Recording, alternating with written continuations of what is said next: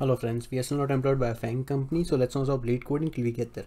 Today we are going to do a LeetCode premium problem and uh, you can clearly see that this has been one of the most popular LeetCode premium problems. This has been asked in companies, that, companies like Amazon, Facebook, Google, Bloomberg, Microsoft, Oracle, Walmart, Uber, Twitter, Apple, Goldman Sachs, TikTok and ByteDance and also some other companies like eBay, Adobe, Swiggy, they all have also asked this question uh, fairly recently. So my aim, you all know that I want to get a job at any top tier FAANG company and that's why I'm making these videos. So I'm paying my utmost attention and I hope you also enjoy the video. LeetCode medium problem and it is one of the most popular problems on LeetCode if you see the like to dislike ratio also the name is meeting rooms two so basically it is the next version of the original problem meeting rooms that i have already solved over here so you can check it out from there. Now in this given problem we are basically given an array of meeting times called intervals and we are given a start value and an end value and obviously start value is always going to come before the end value like uh, as it should be. Now we need to say that based on the given uh, number of uh, meetings how many number of minimum conference rooms we are required so that all the meetings can be accommodated. And we know that for any single meeting we need at least one conference room. And when that meeting ends that conference room can be used for some other meeting. So suppose uh, say for example we have a meeting that starts at uh, at 5 uh, and ends at 15 minutes. And we have another meeting that starts at let's say uh, 17 minutes and ends at 27 minutes something like that. So in this case if we only have one conference room we are still good. Why? Because first of all this meeting will take place. All the attendees will attend this meeting. At 15 this meeting is going to end and then they are going to leave away from this uh, meeting and then these new people are going to attend the meeting in the same conference room. So in this case we can clearly determine that okay with one conference room we are we are we are sufficient to complete all the meetings. Now but problem comes when say for example we have a meeting that starts at 0 and ends at 30 minutes. Uh, i'm using this original example that is given. So suppose we have we have a meeting that starts at 0 minute and ends at 30 minutes. We have another meeting that let's say starts at 5 minutes and ends at 10 minutes. And we have another meeting that let's say starts at 15 minutes and end at 20 minutes. So something like that so essentially over here we are having three different meetings.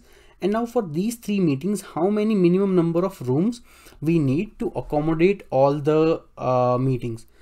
So clearly we can see that essentially there exists an overlap between this this meeting and this meeting. There also exists an overlap between this meeting and this meeting. So because there exists an overlap that is causing us to create to have more than one rooms because at any given moment two meetings cannot be two, two meetings are happening at the same time but they cannot be placed in one conference conference rooms. So now we will have to determine that how many number of conference room we need. Well we will need in this case we will need two conference rooms. Why two conference rooms? If we look at this start time and end time for all the meetings initially let's say we have a conference room like this.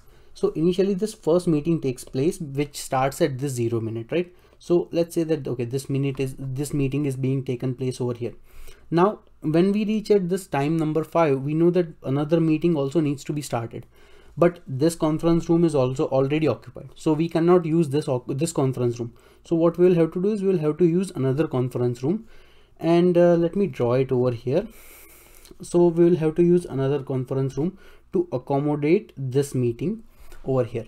Now at this five, five uh, time number five we started the meeting but we noticed that at time uh, at value number 10 we also finished this meeting which means that now all the folks that attended this meeting they are actually coming out of the conference room and now this conference room is empty but this conference room is still occupied with this original ongoing meeting. So that we will have to take care of. So at value number 10 we already emptied this uh, conference room.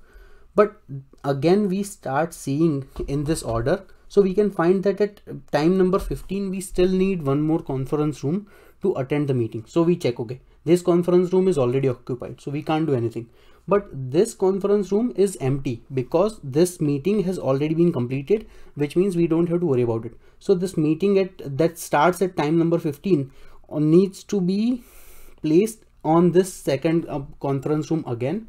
And then it ends at minute number 20 so at 20 minutes uh, all the folks they empty the this conference room. So again this conference room is now empty. Now there is no one. But this meeting is still going on.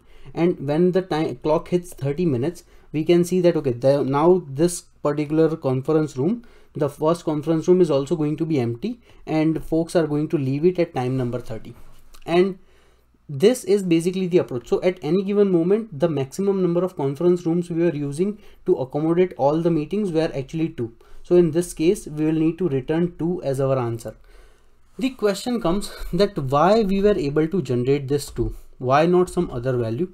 And how do we programmatically solve this problem? Well the approach is actually quite simple. That over here what we what we or needed is only three only two things. Uh, the first thing we needed is that at any point what was the start point what is the end point?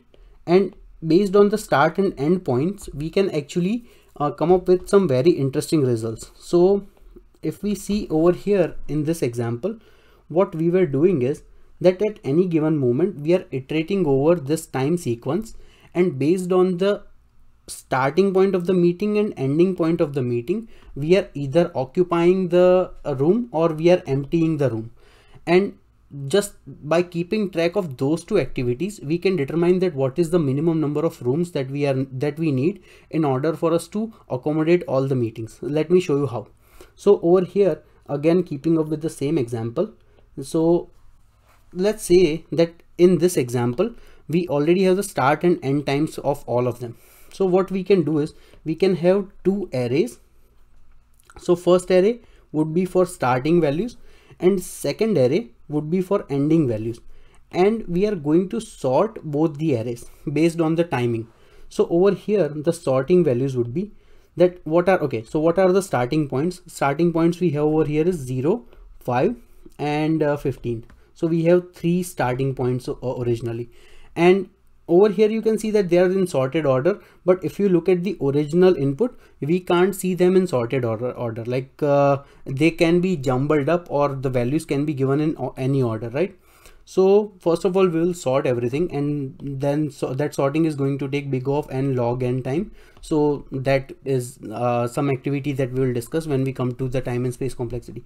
So initially the sorting position currently this value is 0 5 and 15 okay? Let me get rid of this extra space. Okay now for the ending values the ending values are uh, 10 20 and 30 so again let's sort uh, sort based on the ending values. So 10 uh, 20 and 30 and now what we are going to do is at any given moment we are going to check both of these uh, arrays. And in amongst these two arrays we are going to see that what is the minimum value amongst either starting value or ending value. And we are going to keep a count or keep a variable called meetings and we are going to increase the value based on whatever the results we find over here. So let's try to do that. So initially we are, we start we compare these two values. We see that okay zero is minimum amongst these two. So because we are starting a new meeting which means we will have to occupy a room and because we have to occupy a room what we are going to do is we are going to do meeting plus plus. So essentially the the value of meeting was originally zero. So we are going to keep the value as one. Now we are going to now we are keeping the value as one. What we are going to do is we are going to iterate over. So this we are keeping at this because this this has not been updated in the ending value. But in the starting value the zero has already been taken care of so we ignore this case.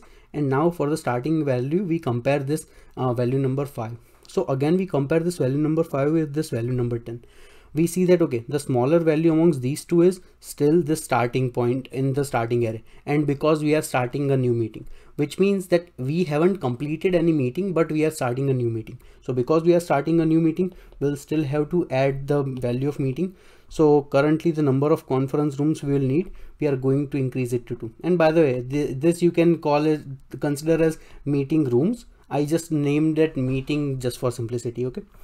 Now again we uh, we are done with this 5 so again for the start value we increment. And over here we are still at this position number 10 again we compare this 15 and 10 so over here we realize that this 10 is actually smaller than 15 which means we are ending a meeting before. So now because we are ending the meeting so we we, we will jump on this ending array. Now we will come to this place. And because we ended a meeting which means we will have to subtract the value over here. So what we are going to do is rather than having 2 we will reduce this value back to 1 but and so now we are at this 15 and 20 so we compare both the values and we realize that okay this 15 uh, comes first. So we are starting a meeting now. So because we are starting a meeting we are, will again do plus plus. So now this 1 becomes 2 and uh, we compare this meeting with this answer. So both are well both values are 2 so we don't need to update anything. And uh, that's why uh, over here we are done with this case so now there is no more place to start the meetings. So in actually we can end over here. Why? Because over here the moment we are going to like reach this and this value all we are going to do is we are simply going to reduce the the value of this meeting parameter back to one and then again back to zero. So there is no point in us for doing all this work if the starting uh, array has already been dealt with. And this would be our solution uh, like this is a very simple solution to understand and easy to come up with. And this is also very optimal and it solves the problem efficiently. So let's see that what would be the time and space complexity. The time complexity in this case is going to be big O of n log n. So this is initially for sorting as I mentioned earlier plus big O of n. And this big O of n is to iterate over the start and end array.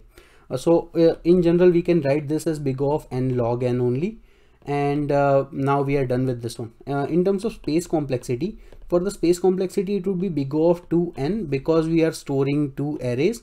And in the both arrays we are storing some n values. So but oh, in general we can write this as big O of n as well. And uh, this would be the optimal time and space complexity. First of all we are going to check that if the given uh, array of intervals is empty or not. If it is empty we are going to return 0 that is not the case. We are going to create two integer arrays start and end. And uh, for both the arrays we are actually going to fill out all the values in the start where start array and end array. Once that is done we are going to iterate over the given input. And uh, from the given intervals we are going to fill out the start and end array. Once this is done we are going to sort the given start and end array and once sorting is done uh, we are going to initialize a couple of pointers. So we are going to name them a start pointer and an end pointer. And we are going to initialize the values as zero. And these pointers are going to be used to iterate over this uh, start and end array. And once these two are done we are also going to have a variable called uh, result uh, to keep track of the number of meeting rooms that are needed. And we are also going to initialize that to zero. And now uh, we are going to run a loop. But remember that we only need to run a loop until the start array has some values. So we are only going to iterate over the start array because once star, start array is done or the result value is always gonna go down. And at any point we are going to check that whether the current start value is actually greater than or equal to the end value or not. If that is the case we will have to update the end array. And um, the reason we are doing it is suppose we are given a couple of arrays like this that uh, a meeting starts at 0 and ends at 10 minutes and there is another meeting that starts at 10 and ends at 15 so in this case we can actually use just one uh, room or one conference room to iterate over. Why? Because first meeting has to end first. Before the second meeting starts this is a condition that is given. And uh, we are going to use that. Hence if this is the case we are going to decrement the number of uh, result that is and we are going to increment the end pointer and if that is not the case so which means that we essentially have a starting a meeting starting before the previous meeting ending. And in that case we will always have to increase the number of rooms needed. So we can simply increase the result. And we will also have to update the starting pointer. And at the end uh, once this loop is done we can simply return whatever the result we found let's try to run this code. Seems like our solution is working. Let's try to submit this code. And we are actually solving this problem way faster than a lot of other java solutions. And uh, you can see it uh, over here. So i would be posting this code in the solution uh, in the comments. You can check it out from there